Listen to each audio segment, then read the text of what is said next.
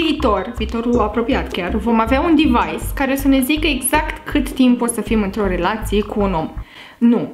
Ăla e un episod din Black Mirror. În realitate o să fie și mai weird. Sasen, am sasen, am sasen on you. Comentariul zilei vine de la Hascheck Alexandra care spune Nu sună rău asta cu 3D-ul. Îmi vând orinic pentru un iPhone. Nu-i panică man, că ne rezolvă imprimanta. în clipul de săptămâna trecută am vorbit despre cum va arăta lumea în 2030, 2040 și 2050. Îl poți vedea aici. Bună nume... Poate că nu mi-a trecut de tot răceala. Bună, numele meu Iane Marie, în următoarele 3 minute în vlogul de marți vorbesc despre viitorul relațiilor în 2040, adică cum o să-ți găsești pe cineva în vreo 20 de ani. Cel mai interesant comentariu la acest clip va fi citit în vlogul următor. Facebook, Tinder, Bumble, Grindr, nu se mai poate așa. Trecem pe eficiență. 7 din 10 relații vor începe online până în 2040. Și nou cine ne mai cumpără ceva de băut? Și cum te-a cucerit? Cum v-ați întâlnit? Ați ieșit la masă, în club? Ce ați făcut? Mi-a dat o memă, m-am pișat pe mine de râs. Dacă e așa de bun la pat cum mi l-a făcut meme-uri, anul ăsta m-a mărit? În 25 de ani tehnologia o să fie atât de avansată și transferul de date o să fie atât de răspândit și rapid încât cică toate cele 5 simțuri umane vor putea fi translatate digital pentru pentru ca noi să trăim într-o lume virtuală cât se poate de reală. Un lucru o să rămâne la fel. Faptul că toți vrem ca procesul ăsta de recrutare a unui partener de viață să fie cât mai eficient. Nu vreau să completez zeci de chestionare și să zic că îmi plac plimbările lungi pe plajă.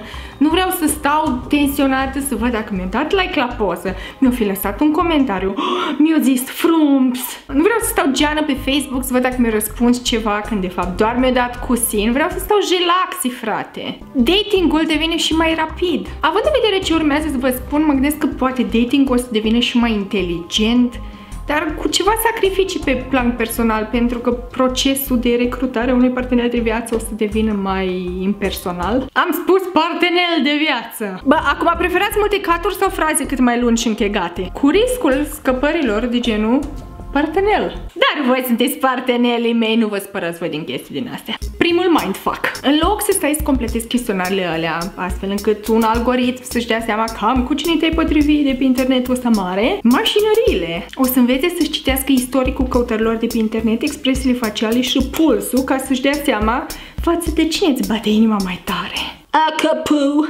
Al doilea mindfuck. Există deja o aplicație de genul ăsta și a fost inventată culmea de cel mai romantic popor din lume, de francezi. Deci francezii au aplicația asta care se numește Once, E o aplicație care te cuplează, o aplicație care nu te cuplează cu alți oameni printr-un algoritm, ci sunt oameni reali care îți găsesc o pereche și în fiecare zi la ora 12 îți trimit două match-uri. Poți ușura munca acestor hici dacă îți conectezi smartwatch-ul sau Fitbit-ul, brățara inteligentă, la această aplicație pentru că îți va citi pulsul și dacă vezi ceva, o poză cu o fată sau un băiat drăguț și îți crește pulsul cu 10 bătăi pe minut, you have a match.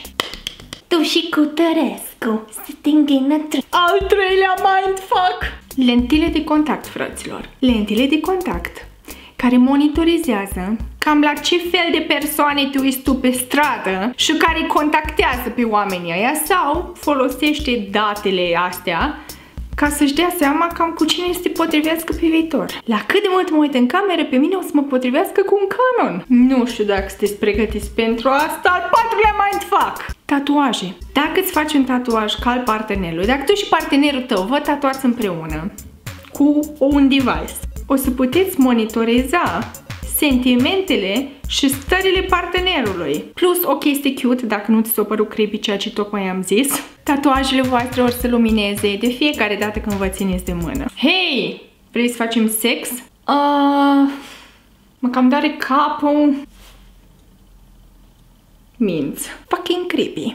Cu ajutorul realității virtuale ne vom putea retrăi prima întâlnire cu partenerul de viață. Un algoritm o să preia exact locația prin GPS, o să recreeze chiar temperatura din ziua respectivă, iar dacă ești single și nu vrei să trăiești nicio primă întâlnire, ci că poți trăiești ani de facultate prin realitatea virtuală, 21 de ani, și un abdomen mult mai plat decât ăla acum. Aaaa! Nu știu la câtele mai fac am ajuns, dar în viitor, următorii 25 de ani, o să putem merge la un date fără să ieșim din casă, ci că o să putem simți parfumul omului cu care ne întâlnim, deși nu ne întâlnim cu el. O să putem simți dacă ne îmbrățișează sau dacă ne ține de mână. What the actual fuck? This is some Black Mirror shit. Sună cel puțin interesant, nu știu ce o să facem noi ăștia care suferim de anxietate.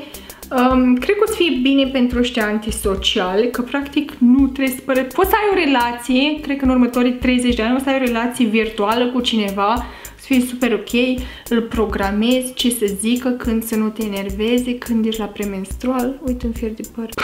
Dezbateri! Cum vi se pare mai ok să-ți găsești partenerul? Trecem face-to-face prin tot procesul ăla super ciudat în care stai la bar, face cineva contact vizual, nu știi dacă se uită la tine sau vrea să mai comande ceva. Nici nu știu ce mai bine. Bă, oricum, cred că e inevitabil, adică între acolo ne ducem. Putem să ne opunem, nu cred că rezolvăm mare lucru. Vreau să știu opinia voastră, comentariul zilei va fi citit în vlogul următor. Am făcut clipul ăsta pentru că primesc destul de des întrebări de genul cum îmi dau seama dacă X mă place, cum pot să seduc o fată, cum îmi fac prima relație. Apropo, Sex Talk 9 pe 6 februarie, marcați data în calendar. Mulțumesc pentru vizionare, dă share clipului ăstuia cuiva care e single și crede că o să fie forever alone. Eu am fost Ane Marie, ne vedem vineri cu un clip pe Always Hungry, canalul meu în limba engleză. Subscribe!